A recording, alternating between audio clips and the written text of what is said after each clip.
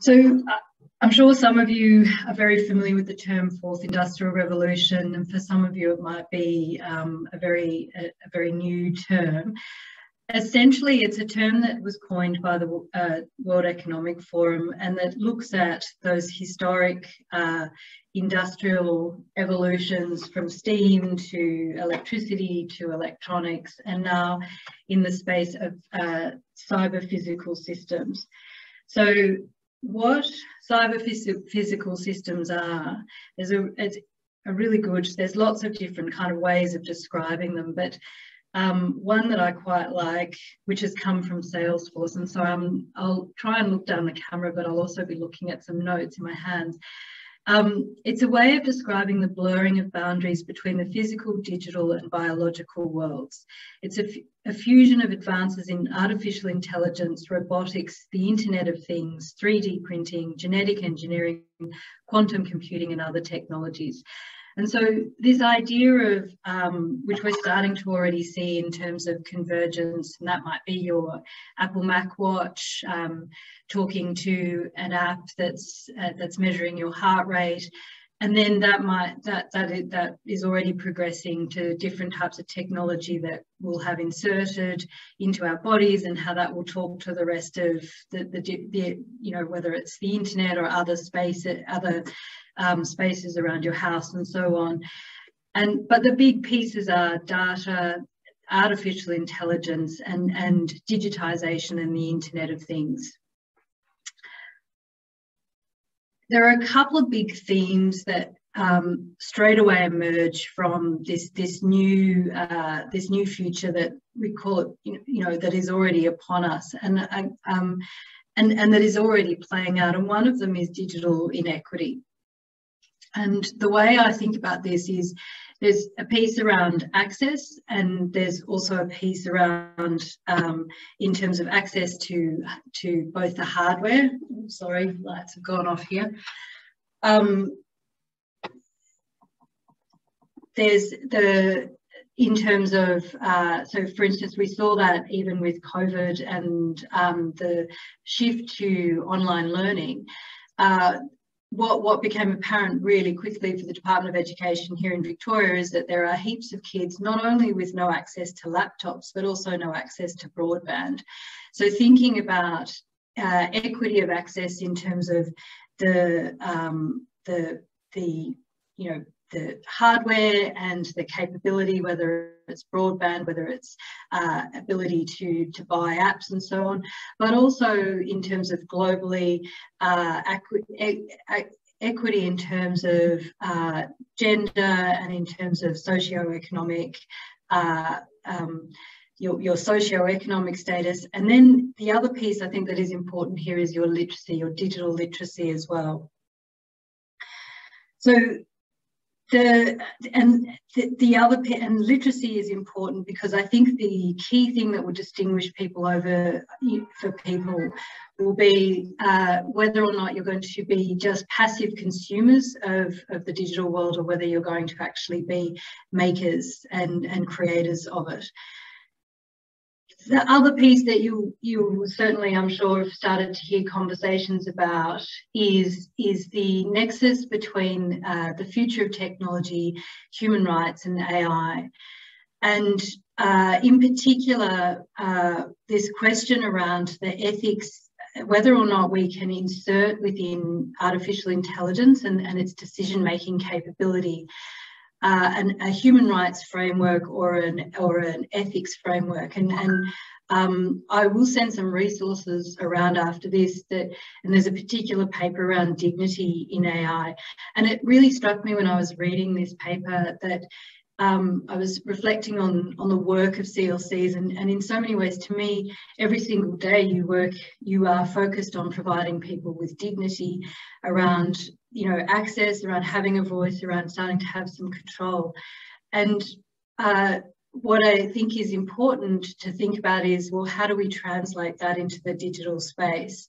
So how do you start to bring um, a transparency to the way in which AIs are, uh, are created and, and the decisions that they make or the assumptions that underpin them? the reason why I've put this text up uh, is partly partly because I know on the phone there are a lot of lawyers, and and and this. Uh, this uh, draft, this is draft text. This is a discussion that's happening uh, currently uh, with UNESCO. There was a, a, conference just recently, just a couple of weeks ago in Japan, hosted by the World Economic Forum on the governance of technology. And these and, and there's also a process that the Australian Human Rights Commission is currently, they've gone through quite a big consultation process to think through uh, what what are the implications of um, the fourth industrial revolution or cyber physical systems? And then what are the kind of legal and regulatory framework uh, the principles that should that should underpin that? And so i think I, I particularly wanted to emphasize that this is a discussion that right now is is kind of really starting to um, uh, get momentum because uh, the, the, the, the, sector, the Federation, uh, individual CLCs have done such a good job at advocating around systemic issues. And for me, this is, and, and really advocating on those policy issues. And for me, this is, there is a really important uh, conversation that CLCs need to be part of, which is how do you, how do you embed a human rights framework? How do you embed dignity in, in, in in AI and, and in digital development and, and bake it in from the, from the outset.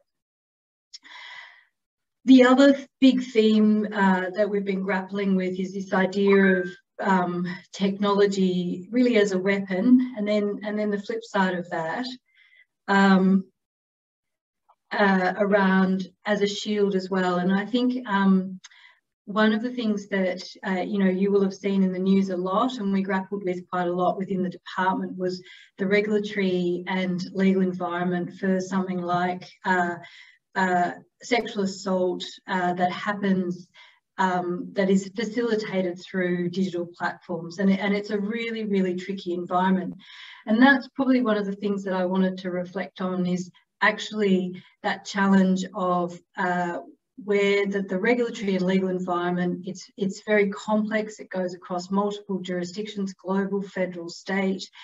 Uh, it goes across multiple areas of law and, and just even from that perspective of clients coming into you and saying, I've had this experience, uh, whether it's online harassment or sexual assault or, you know, and, and or, um, you know, I've been denied health insurance thinking through all of the legal ramifications and what that's going to mean for you as advisors and supporters of, of those citizens. The last big theme is how we work uh, and who gets the work. And, and I mean, this is going to play out for you in the context of both um, uh, your client base in terms of the impact uh, on, on jobs and employment and, and uh, economic um, stability. But also what I think is really exciting is actually how you deliver services and what this means for in terms of, so you hear a lot of people talk about robots are going to take our jobs, but there's actually a really positive, there's a positive element, there's a flip way you can turn that story around, around automating the work that is really repetitive and monotonous. And there's a great um, uh, uh, there's a great kind of automated form process uh, that called Josef.com that uh, the tenancy union, union, for instance, has used to assist clients to write letters to their landlords, which means then that your lawyers can spend more time with, focused in on their clients, giving more intense dosage and, and, and being able to spend more time with them because they're not uh, spending time on the back end. So that is a very whistle top uh, tour through uh, everything. That, you know, there's a lot to absorb around um, the future of technology. Um, there's there's going to be a lot of impact on CLCs around your client base and their needs, working within a changing legal system. I mean, we've already seen that over the last year. Um, and, and changing the way that you work with your clients, with the system and with each other. I think for me, the big pieces are about um, understanding what's coming, getting informed, really thinking about the opportunities as well as the challenges in terms of how it can free up your front line, but also thinking through what is it that we, what is what is it that we do that really needs that human interaction? But the last thing I'd probably leave you with, and just reflecting on Emma talking about the social services 10 year plan, is actually don't think about digital and, and technology as something separate. Actually think through what you want to achieve and then what's the digital component that sits underneath that. And, and thinking through that um, it doesn't need to be a separate uh, consideration. It could be embedded in everything you want to achieve over the next 10 years.